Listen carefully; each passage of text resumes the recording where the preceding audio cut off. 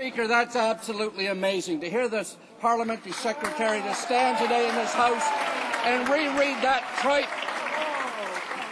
The Supreme Court of Canada has said Omar Khadr's rights have been violated. Canadian officials are saying Omar Khadr is not a threat and instead is a victim of his upbringing. After six years of failing Omar Khadr, it's time for the government to do the right thing and help Omar Khadr salvage the rest of his life. Mr. Speaker, through you to the Prime Minister, when will he act on this file and petition the U.S. to bring Omar Khadr home? Yes. The Honourable.